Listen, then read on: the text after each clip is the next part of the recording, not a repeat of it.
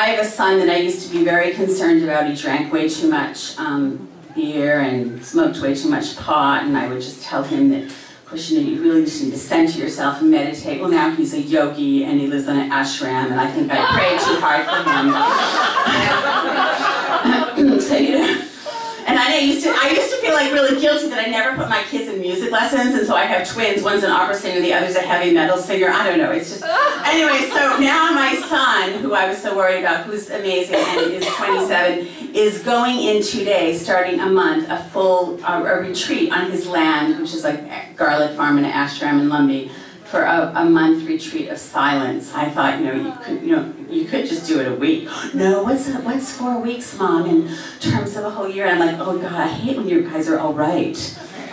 Anyways, I'm going to read this for him because I was talking to him yesterday um, on Skype about the fruitful dark, which to me is really important because I feel that darkness is actually a, a, a really incredible place of fruit. And um, I kept thinking I might leave the darkness one day, but I basically see that I just go in and out of it all the time. I think it's a lifelong.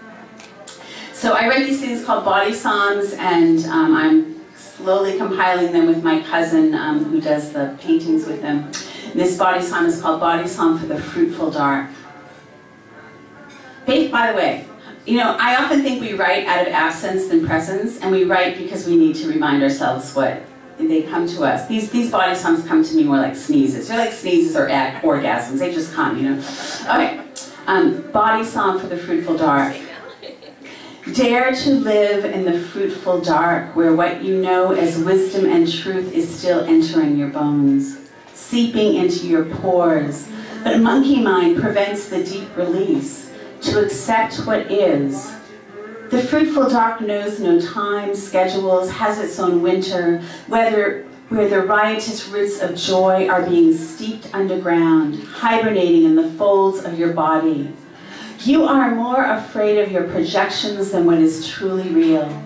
Feel each inch of sorrow, make friends with broken dreams, and wait for the larger dream, for your soul's purpose, to be brought forth.